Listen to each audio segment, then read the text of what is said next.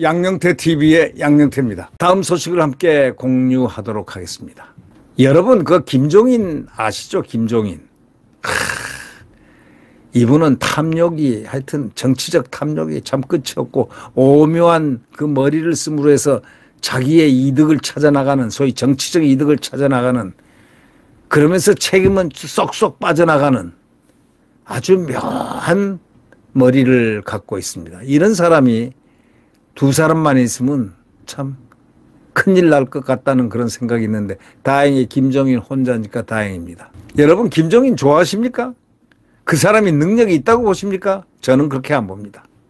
그 사람은 능력이 없고 꽤 술수가 능하다 이렇게는 볼 수 있지만 두뇌가 있거나 어떤 정상적인 그 길을 정치적인 길을 가거나 한 사람이 아닙니다. 비례대표만 해도 다섯 번 했으면 이게 뭡니까?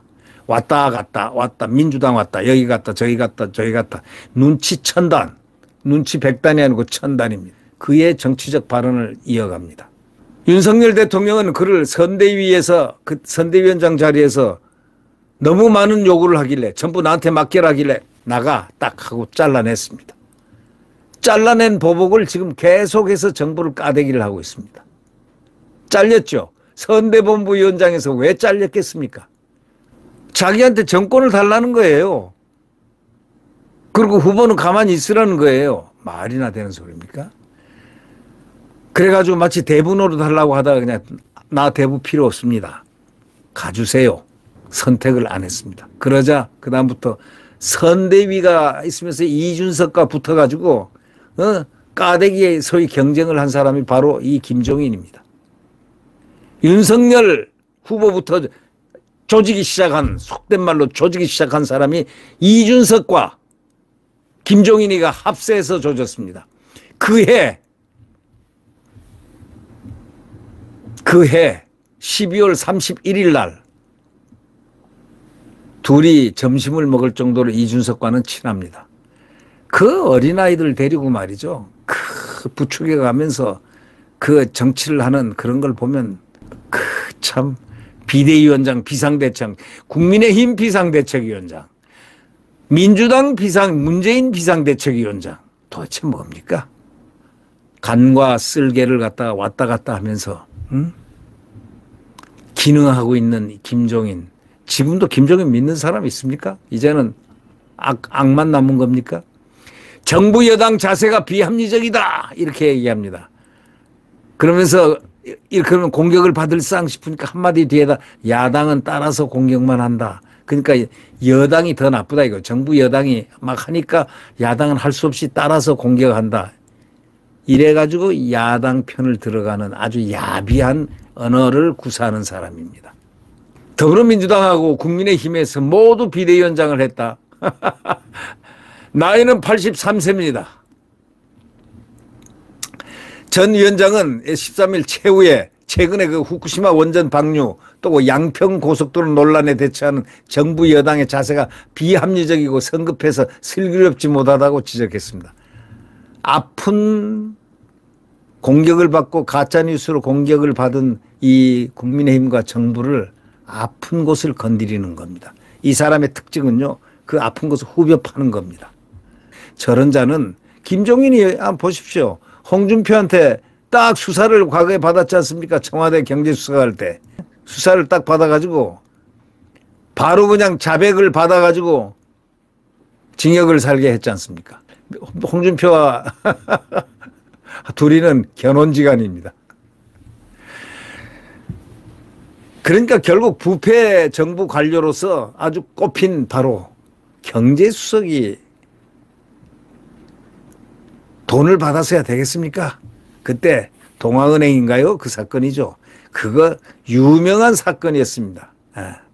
그런 사람이 또 소생을 해가지고 왔다 갔다 하는 거 보면 참 기가 막힙니다. 네. 김종인은 이날 KBS 라디오 인터뷰에서 이런 얘기했습니다. 권희룡 장관이 양평 고속도로 사고를 백지화한 데 대해 너무나 성급한 판단이다. 이미 다 계획이 추진될 상황을 갑작스럽게 제대로 된 설명도 안 하고 백지화를 시켜버렸기 때문에 그것이 하나의 정치적인 문제로 부각이 된 것이다. 이렇게 얘기를 했는데 이자는 바로 싸움을 시키는 겁니다. 그리고 정부를 갖다가 이렇게 까대리기 위해서 까대기 위해서 까대는 지능적인 수법을 사용합니다. 원희룡 장관이 만약에 그때 백지화 선언을 안 했으면요. 완전히 또 고속도로 김건희 뭐 이래가지고 거짓말 뉴스에 의해서 침몰될 뻔했습니다. 원희룡 장관이 아주 현명하고 꿰뚫어 보고 있기 때문에 사업 전체를 백지화시키고 그 대신 정상적으로 이 가짜 뉴스를 발동해서 김건희 여사 때문에 거기에 도로를 도로 놓지도 않은 걸 갖다 추진도 하지 않은 걸 갖다 결정도 안 된 걸 갖다 도로를 놨다 뭐 도로를 논다 이래가지고 가짜 뉴스를 바라는 이 민주당하고 이런 이재명이 세력들 여기 가짜 뉴스 바라니까 이게 견딜 길이 없는 거예요. 아무리 말해도 들리지 않으니까 그 초강수로 원희룡 장관이 그런 결단을 내린 겁니다. 내가 정치적인 모든 걸 포기하겠다. 대신 이거는 가짜다. 가짜가 지금 가짜 뉴스로 지금 이렇게 만들고 있다 하고 이거는 전부 백지화시킨다. 이렇게 단호한 결단을 내린 겁니다. 이 김종인 씨는 왜 이렇게 됐다는 것을 설명을 제대로 해줘야지 문제가 조금 발생하니까 갑작스럽게 백지화하니까 오히려 이게 정치 문제가 되는 것 아니냐 이러면서 야당이 흑색 선전을 하더라도 합리적으로 반론을 제기하면 될 거 아니냐. 아니 반론 천번 만번 해도 반론은 먹혀 들어가지가 않아요. 후쿠시마 오염수 한번 보세요. 후쿠시마 처리수인데 오염수로 만들었죠. 오염수가 안 되니까 나중에 이재명이가 핵폐수입니다. 핵폐수입니다. 핵폐수로 만들었죠. 그래가지고 세계 언론에 공분을 샀습니다. 왜? 그걸 왜 핵폐수라고 그러냐 이거야. 그리고 이 저 그 영국의 옥스퍼드의 물리학과 교수 세계적인 석학이 있죠. 네. 앨리슨 교수라고요. 앨리슨. 이 앨리슨 교수가 그때 여기 한국에 방문해서 원자력 학회 방문해서 이 오염수 문제에 대해서 얘기를 한 게 있습니다. 오염수 물 마셔도 전혀 관계가 없다. 식용으로 그냥 예, 입으로 마셔도 전혀 몸에 인체 유해하지 않다. 이런 얘기를 물리학자가 소위 이분은 방사능만 40년을 갖다가 연구한 세계적인 학자인데요. 그 얘기가 턱 나오니까 앨리슨 교수가 그 얘기가 나오니까 돌팔이다 이렇게 얘기했습니다. 그래가지고요 세계 석학들로부터 학자들로부터 대학으로부터 이재명 아주 공격 엄청 받았습니다. 무식하다는 얘기죠 한마디로 무식한 거죠. 자기만 무식하면 좋은데 대한민국을 무식하게 만들어도 되겠습니까? 그러니까 이 돌팔이라고 하니까 저 사람은요 그런 거 저런 거 신경 안 써요. 자기의 정권 탈취 목적만 도달하면 되니까 그 가짜 뉴스를 해서 엎어버릴 생각에는 저 사람 머릿속에는 그냥 엎어버리고 정부를 엎어버리고 뒤엎어버리고 대통령이나 어떻게 한번 어, 해볼까 생각하는데 어림도 없는 수작하지 마십시오.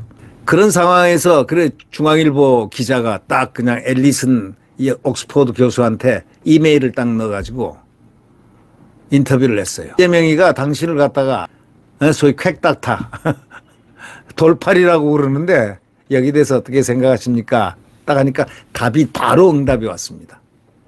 어떻게 왔을까요? 아주 짧은 짧은 말인데 뭐냐?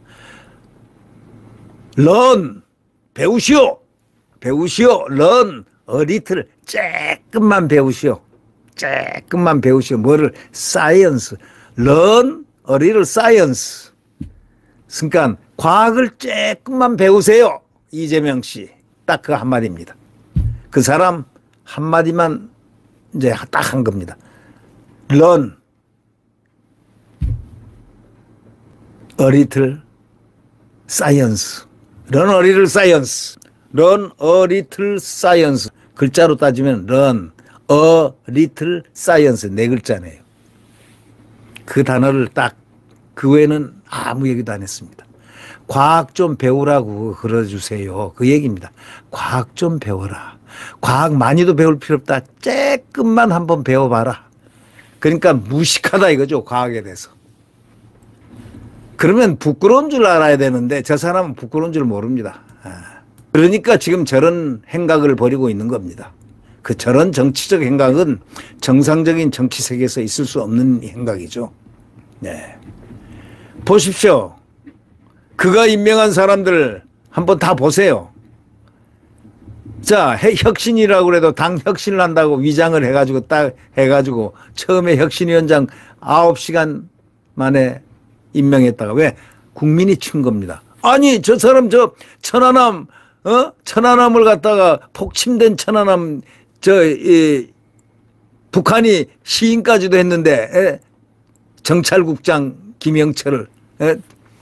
시인까지 다 했는데, 아니 그리고 세계적인 석학들이 와가지고 전부 연구가들이 와가지고 전부 감식을 해가지고 폭침이다 잠수함이 폭침했다 자 폭침시켰다 이걸 판정을 내렸는데도 자폭했다는 겁니다 아니 천안함이 자폭을 했다니 이거 뒤집어질 얘기 아닙니까 그런 국민들이 그냥 그 얘기를 과거에 이렇게 한 사람 그러니까 딱 국민들이 들고 일어나니까 얼른 아이 뜨거 하면서 그냥 얼른 9시간 만에 처음 임명 다 한 사람이에요. 임명해, 임명한 사람을 임명 취소를 했어요.